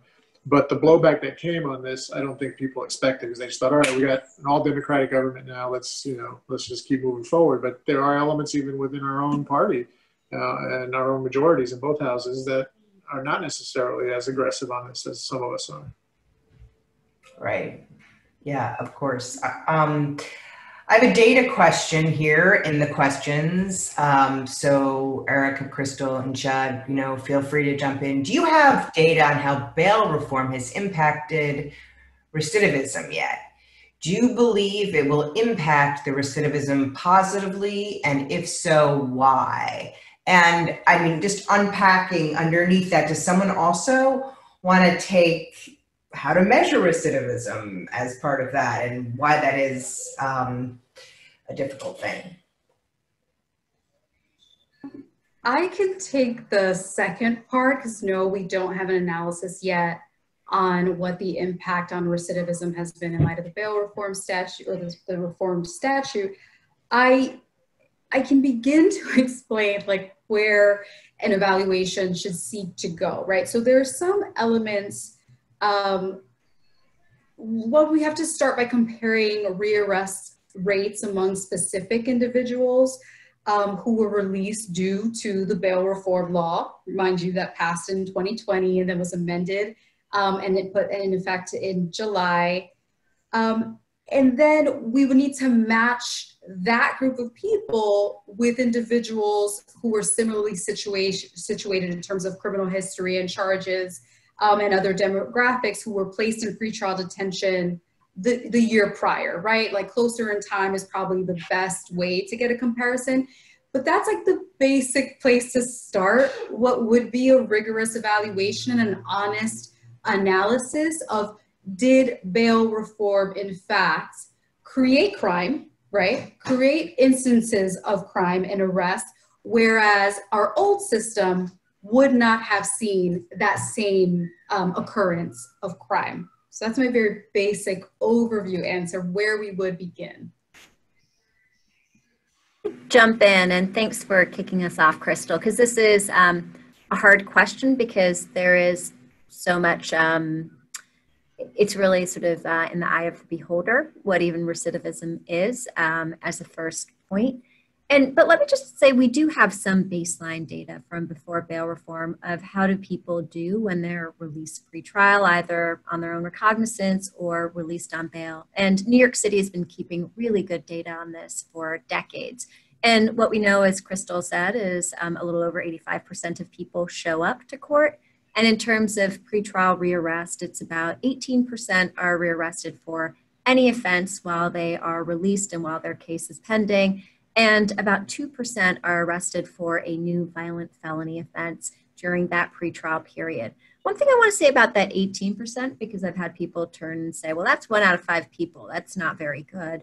Remember what actually goes into a misdemeanor arrest. Oftentimes it's police initiated conduct, right? Marijuana arrests um, so often are people minding their own business and the police stop them and arrest them for having a joint in their pocket or not having anything at all, right? Given what we know about sort of manufactured arrests and quotas, especially in a place like New York City. So, just actually questioning the premise of this idea of recidivism, because so often arrests in and of itself reflect policing practices and policing mandates rather than any particular conduct of people. I think it's important to always have that lens um, on what we're talking about when we talk about rearrest. Um, and what we also know nationally is that's what the numbers are in places where we have this kind of data. Again, I always point to New Jersey because they do a really good job of data collection on court practices. And um, since bail reform has been in effect now three years there, um, overall crime has dropped pretty significantly. Violent crime has actually dropped very, very significantly um, by a third in um, since bail reform has been in effect there. And what we've also seen is people still show up to court, and that 2% of people who are rearrested while released um, and they're rearrested for violent offenses, that sort of remained consistent across all of the places where we've seen pretrial um, recidivism statistics. Um, one more thing I just want to say right now is, you know, one of the questions was about the uptick in crime that we're seeing this year. And as Senator Gianaris said, we're seeing this not just in New York City, but in many cities across the country. But one thing I do want to put in perspective to the extent that data helps us tell an accurate story is that crime overall is down um, in New York, including New York City. It's only if you isolate shootings and homicides that we've seen an uptick. And mind you, it's a significant uptick from last year or the year before, but it's exactly on par with our statistics back in 2015. And again, if you think about where you were in New York City in 2015, did you feel like crime is out of control? Did you feel nervous? No, because without the political backdrop of all of these statistics being sort of, you know, um, blown up in the media, they sort of went like unnoticed. So I just, I think those numbers are really important to put into context where we are now and where that actually puts us in recent history.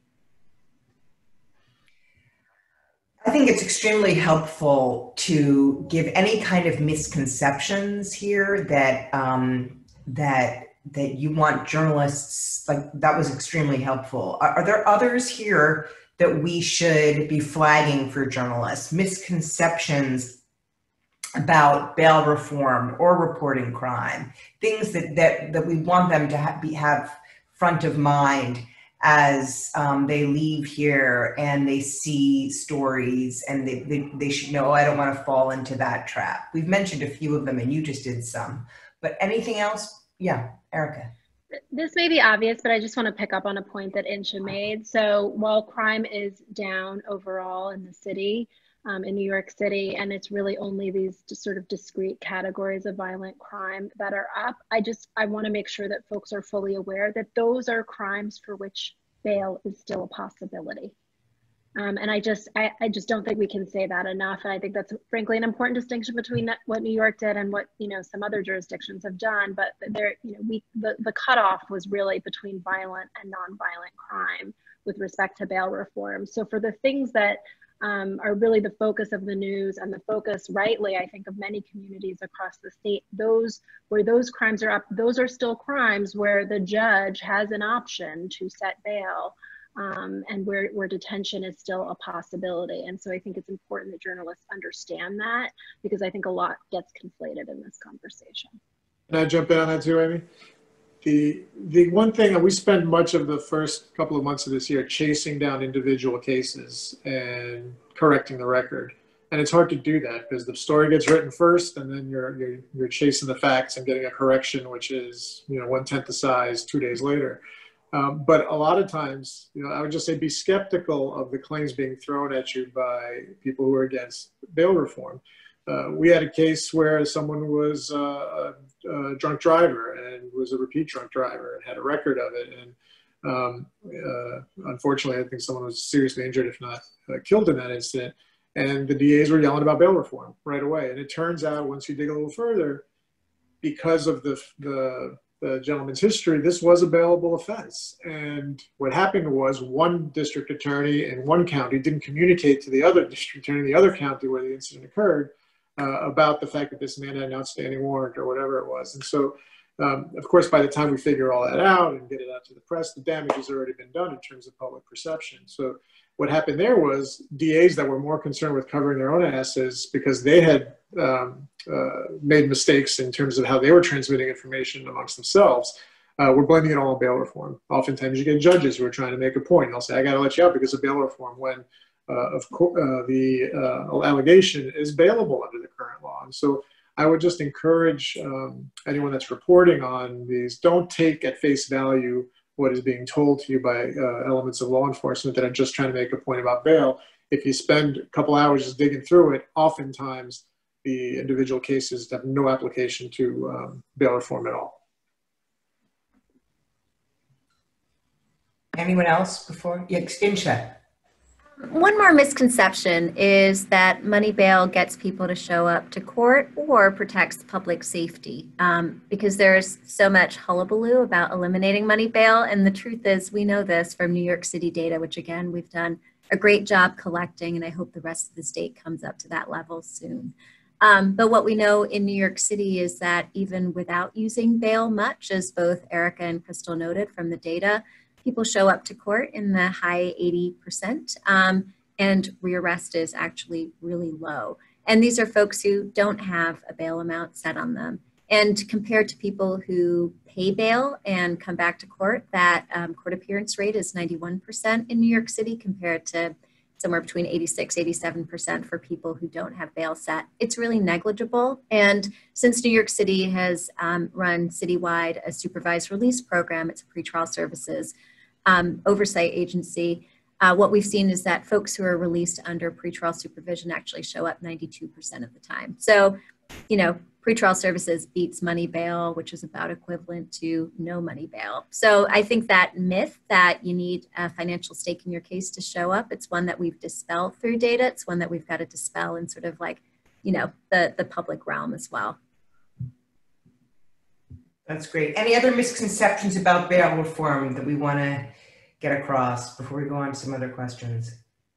One that was highlighted earlier, but there you know, in terms of these questions around people being, you know, having a case, getting arrested, being arraigned, being released, and then picking up a new charge um, tends to be the running story or um, and the reality is that especially in light of these amendments that's just not the case um, you know the statute does permit judges to use bail where someone has in the first case been charged with an a misdemeanor um, and or felony, and then if they're rearrested on a, a misdemeanor or felony with that involves harm to a person or pro- person or property, that does once again, even if the underlying charge is one that is intended to be bail ineligible, given the circumstance of having that previous pending case, that does permit the judge to set bail. So this idea that folks can just kind of go about um, picking up cases and bail is never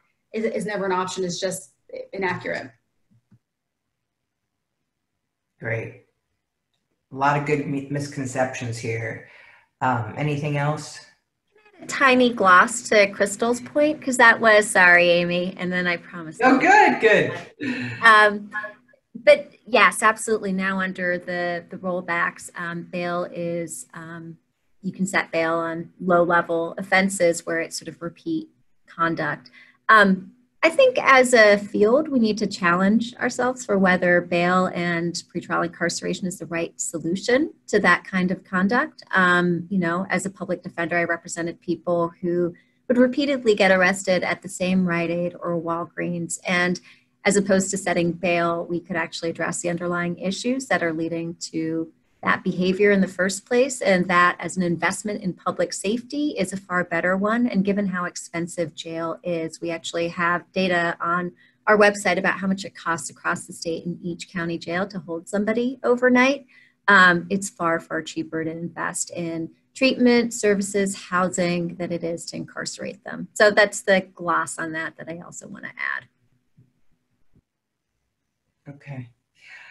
I have a question that I don't know the answer to it all. But I just to to frame it for the journalist. So, you know, we're I'm work at a data organization, and our people um, who clean and code the data spend an enormous amount of time working with prosecutors and in some cases um, clerks who run a court and in some cases um, public defenders once in a while but it's usually um, sheriffs and explaining to them why their data entry created so many problems for us. And often you know they think they have great data and they don't realize the problem until you put it against a measure. By a measure i mean like people in jail who are there only because they're poor because they can't pay $500 bail and so we, you know, we'll go through the data and we'll just be like, wow, you know, we can't get you the diversion measure you wanted because your bail, um, your your data is entered. So how is New York dealing with the data culture part of this? The fact that people who are not used to entering data, who have to enter data, do we know about that? Do we know about are there resources for them? And what what is going on right now in terms of you know, dealing with this thing that I, I've never seen it not be a problem. You know, in terms, I've never, I don't have anybody to say, oh, this person has amazing data. Like it's always, um, you know, it, everything. I wouldn't say it's always terrible. There's some that are better than others, but everything needs a lot of work. I'll just jump in and make one one quick point here. I mean, I, having having worked with government agencies in the past i mean typically because we don't have a long history in this country of actually incentivizing or prioritizing transparency in this particular system right in fact i think we've had a disincentive to really understand what's happening in the criminal legal system mm. the, to the extent data is collected it's done so for agency purposes and operations only right so if i'm a jail I don't care how much bail was set. What I care about is that you're here, right? So I, I, am not as interested in collecting the kinds of measures that might be interesting to the public that might help to inform policy conversations about what it, how it is that you would reduce jail populations. But as a jail administrator, that's never been particularly useful information for me. So that's just like one simple example. But I think the the root of this problem, just so our audience understands, um, it, it not it's not always nefarious i don't think on the part of agencies. It's just this is a highly siloed system that was never um, has never been sort of exposed to um, sunshine right? And so it's only i think in more recent years that there has been there have been organizations like yours and others that really have been focusing on how do we bring all this data together make sense of it in a way that allow us to um, develop and implement the kinds of really dramatic reforms um, that the senator and others have worked on in recent years. So, I mean, I, I frankly think part of the culture change is having more attention from legislators and from advocates around data and demanding that information. And that creates kind of this virtuous cycle that I think then pushes agencies to actually start collecting that information because again i just don't think in the past there's been much of a need for it right? If you're operating an agency. Right and just so you know erica bond um, lisa whiteside just wrote in the q&a that that was an excellent response. Anyone else would like to take that one on? Thank you lisa. No. All right. Um, all right so uh, and anyone else before I go on? Okay, to the anonymous ND wants to know what are the next steps in criminal justice reform in New York State and then also nationally? I guess I can jump in on that, Amy. Uh, I mentioned some of them before. Um, uh, I think HALT has been sitting there for some time. That you know, I, wish we would have already gotten it done. But part of the um, problem with the the uh, bail conversation in the last couple years is it sucked all the oxygen out of the room on uh, uh, in this space. Uh, and so we were fighting the fight on bail and weren't able to then turn our attention to some of these other things, unfortunately. Um, but I think HALT is on there. I think less is more is on there, which is the um, uh, minor parole violations, landing people back um, back in the system. Uh, I know the the RAP. I'm just using uh, abbreviations and acronyms here, assuming everyone knows what they are. But uh, RAP is the uh, releasing the aging population in prisons. Um, so that's a conversation that we need to have. So there's plenty to plenty to do still, um, and I think 2021 should be an interesting year for a lot of that. Insha, I think you're chomping at the bit, but I could be wrong. I do think also um, marijuana legalization and drug legalization, it's just been such a long time coming and it's high time. Um, and then, as the senator mentioned, a number of different parole reforms because as we've cut the jail population in New York to about 10,000 people, down from upwards of 20,000, we still have almost 40,000 people in state prison. And without parole reform, without sentencing reform, we're not going to get at that. And um, as you said, the, the campaign to release older people in prison, over one out of five people in prison, 22%, are over the age of 55 right now. Um, that's just what an elderly population we have in prison for no real public safety reason. It's because over the years we have continued to incarcerate people on longer and longer sentences. So those feel like the top priorities, certainly for those of us working on criminal legal reform, um, and I know for the legislature as well. And yeah. so you're not saying 55 is elderly, I hope. Never. I'm just saying it's older. Whoops. Right. Put my foot in my mouth, huh? I mean, how about how about also because I'm in Rochester and also because I'm a mother of a child. Like, how about the mental health?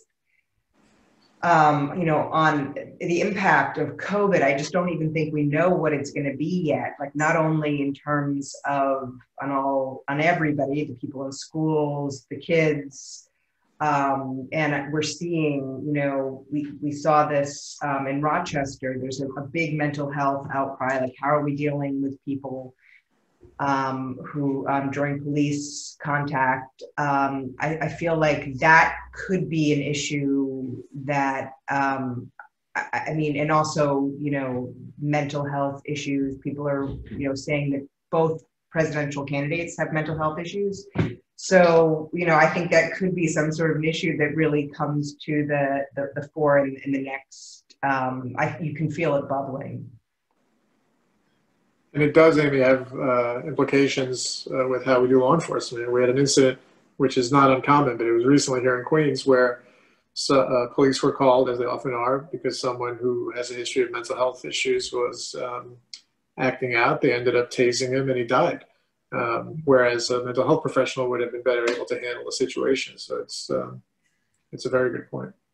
Yeah, and I do think that, I, I, as I said, I think that there's like a broader mental health issue that's going to be overtaking this country and a topic of conversation in the coming years. And I do think that it almost criminal justice is just a way into that issue you know, it's almost going to be a, a harbinger of what's going to come in terms of like national reforms in, in that area. I mean, uh, yeah, it's not something that my organization has really done a, a, ton of work on, but we're sort of being pulled into it now because we're based here in Rochester and we're thinking about it and we're working on it. But um, it's, uh, it's, I, I think it's definitely something that we're going to be it, it, nationally, um, in addition to everything else you guys named. I mean, what else? What else is going? What else is going on nationally for criminal justice? I mean, geez, it's it, it couldn't be couldn't be hotter right now.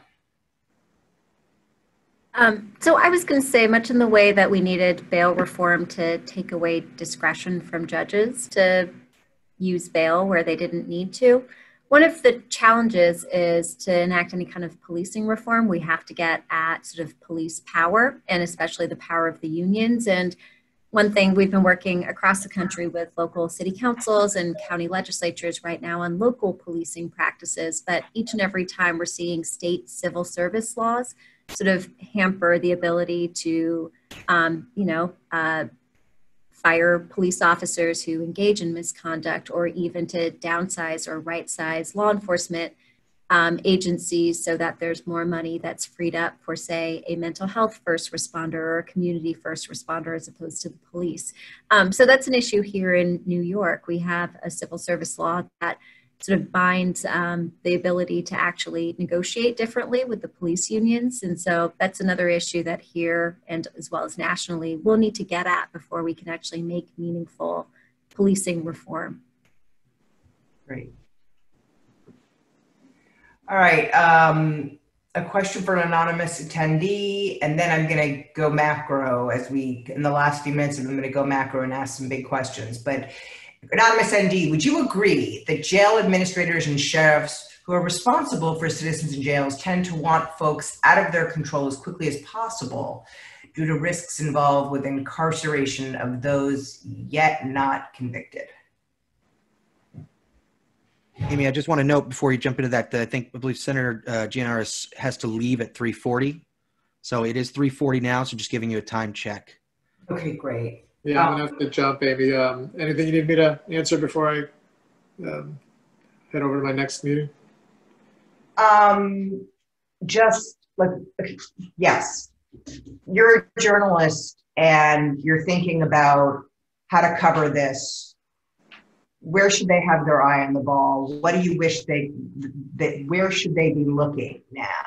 Um, in in the next couple of months, which which should be you know, intense, uh, to say the least, um, to the election and after and going into the new year? Just the next four to five months, like where should they, where should they, where should they be looking? I mean, I would say um, if they're getting a call from someone in law enforcement, their first call of, of their own should be to someone on this panel and hear the other side, uh, because there is inevitably another side. The what we saw in the last um, several months was that the um, information and the truth gets thrown in the trash uh, to advance a political agenda. And as you pointed out, the next two months are going to be full. I mean, I think Rudy Giuliani was today in Manhattan talking about bail reform. Um, so, uh, and miss talking about bail reform. Uh, so there's going to be a lot of that. Don't just report what's being said. You know, a lot of the um, a lot of the lies we're seeing permeating our politics now are also spilling into this issue. And if you want to get it right, you got to hear from the other side. All right, that's excellent. Thank you so much for giving us your time. It was so so delightful to meet you. Thank you, everybody. Um, congratulations on all the progress you've made. Thank you. Um, um, we've got eight minutes left. Let's just, um, someone want to take the sheriff's question and then the same question for all of you. Like, you've got a captive audience of journalists here. Where should they be looking? But first, what do we say to the sheriffs? What's the deal with jail administration sheriffs responsible for citizens in jails? And they tend to want folks out of their control. Is that trickly? They want them. They want them out of control quickly, or do they want them in there? Um, um, uh, you know, filling the beds because they get paid? Like, what is the deal with sheriffs? What are their incentives and um, and and and the possible risks involved with incarceration of those yet not convicted? Anybody want to take that? Eric. Um, so, so I think it's hard for any of us to speak on behalf of sheriffs or jail administrators. So I, I won't attempt to do that. But I, I do have one point to make here. And again, I, having worked in city government, having worked with the New York City Department of Correction, and understanding some of the challenges there. And I, and I think this is probably doesn't come as a shock to anybody. But you know, we're asking our jails to solve for a lot of problems we have not solved for in the community. And so I think um, there is often um, frustration on the part of people that run jails that they are being asked to address our most serious, deep seated issues with respect to mental health and with respect to violence in our communities and they simply don't have the time or the resources to actually fully address those problems and for all too long we've thought well we're just going to park people over here and we may or may not give them some services in this context and in this environment that's particularly poorly suited for folks that are in crisis as many folks in jail are um, so I don't think it's really a question of, you know, do I want people here or not? I think for a lot of jail administrators, it is trying to day to day maintain safety in their facilities. And, and historically, many of these facilities were really overcrowded and address fundamental problems that jails are simply not set up to address. Well, have one thing that's very specific to New York, and it's an issue that's really coming up across upstate New York where counties are struggling with their budgets and they have jails that are half full right now, um, given the impact of bail reform and releases because of COVID 19 and they have more jail staff than they need and they also are operating a bigger jail than they need and they're spending money that they don't need to. And one of the challenges is the county budget even though it you know pays for the jail the state doesn't pay for the jail counties do. Um, county legislatures aren't being able to downsize the jail or the jail staffing because of a quirk in new york state rules and regulations that comes out of albany that requires the jail to be staffed to the maximum facility capacity of the jail. So even if the jail only has 200 people, but a capacity of 600, then the jail has to maintain staffing for 600 beds as opposed to 200. And so that's been an issue right now. Um, and it's one that I think will be top of mind for the legislature um, in 2021, given the budget crisis and how many counties across the state are really calling for a change to that regulation so that they can in fact downsize commensurate with the drop in the overall jail population. Um, where I think it's going to run into problems are sheriffs who say, well, I don't want my budget cut or I don't want my staff to lose their jobs.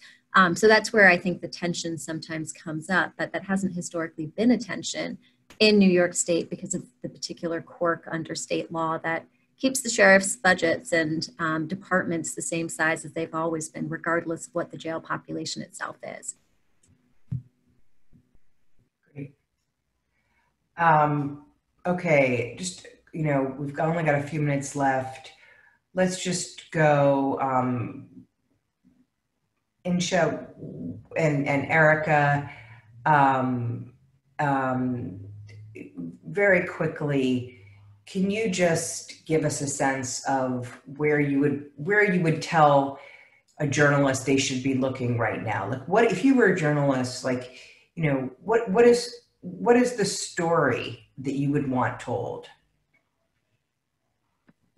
The stories that I would want told are um, the flip of the the terrible outlier cases. I would want to see for every bad story about bail reform, about how it's not working. I would want to see an equivalent number of stories about how it is working for families, for communities, for people, for judges across the board. Um, because unless we have that kind of balance, we're never going to change the dynamic, the the pressure um, to roll back without sort of a, a, fair and balanced reporting. So it's really simple. It's just looking for the stories that historically haven't gotten told, but are actually there a dime a dozen. They're easier to find than the outlier terrible cases because there's just so many more of them. Great. Um, okay, Erica, and then Krystal's got the last word.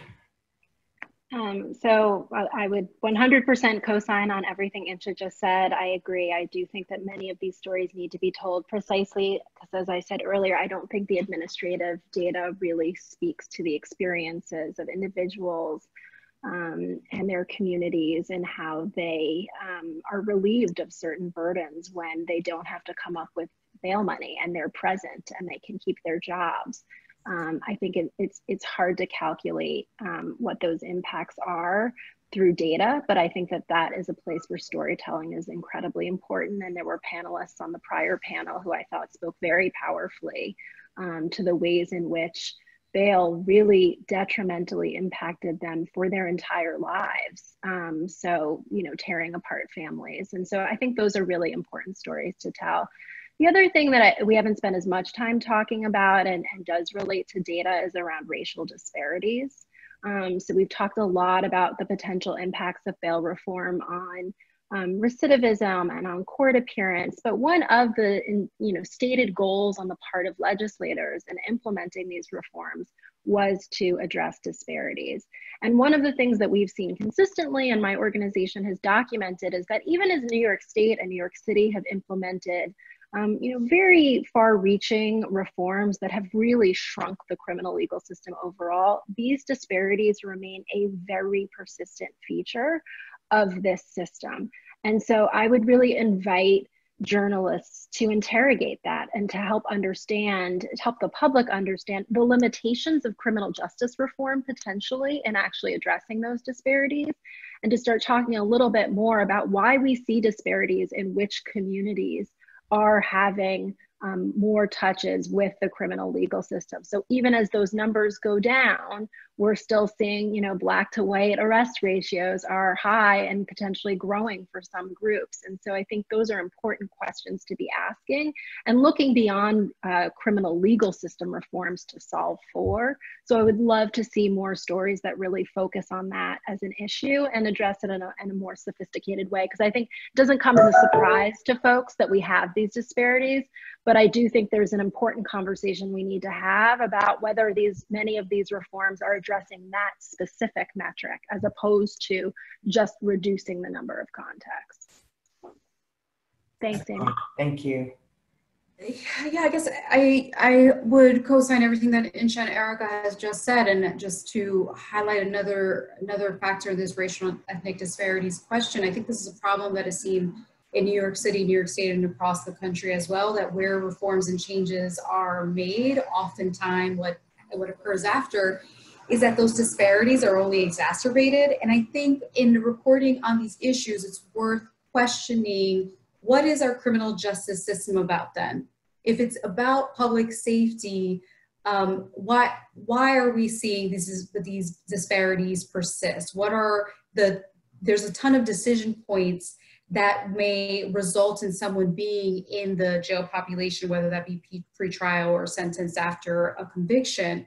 But what are the, what is the climate? What are the societal circumstances that are contributing to these individuals having police interaction? Um, is it police practices? Is it uh, charging decisions? Um, there's just so much more complexity to this story than just um, the numbers or the decrease or increase in the jail population.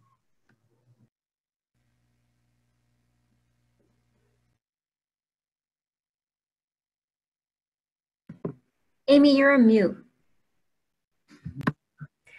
Um, thank you guys. Thank you, Erica, Krystal, and Insha. That was incredibly um, illuminating for me. I'm so glad I had this opportunity to learn from all of you. And um, I'm sure that your phone will be ringing off the hook soon with many journalists wanting to do stories and calling you and getting data. So good luck with that. I want to echo those thanks. Um, Erica, Krystal, and Insha, you've really created a fantastic and absorbing conversation, especially thanks to you, Amy, for for bringing it all together. Um, uh, we could only, obviously, this is so absorbing, but we could only touch just the surface uh, in just one afternoon of, of conversation. And in fact, um, next week we'll go back at it and really take a closer look at uh, the impact of um, the bail reform and bail changes on criminal justice in New York and the nation. Um, just a few closing notes uh, to those who are still on. Uh, we have been recording uh, this conversation, and the recordings will be available in the cloud. If you have registered, I will send you the link when it's available. Otherwise, uh, we'll post it on the crime report in our conference page. Uh, you can also send me a note via email. Um, Michael will shortly put on my address, my email address. You can send it to me. And when you send it, please be sure to give your comments about what you thought, what we could do better um, uh, with the webinar, and we will take into account uh, for our uh, our final webinar uh, next week. Um, I will ask those of you who are on today and still on to re-register for the next one so we can keep track. Um, and as I say, uh, please feel free to comment um, and let us know what you think and suggest any ideas um, that you might have for redoing it. I'll turn it over to Maurice as well for any final thoughts. Um, but in the meantime, thank you for staying with us. This has been, as I said, an absorbing conversation, and certainly there's a lot more to talk about. Uh, Maurice? I just want to thank everyone um, for their participation and for all their um, sharing their knowledge and and and skills with us. It's just been marvelous, and uh, I can't express enough gratitude.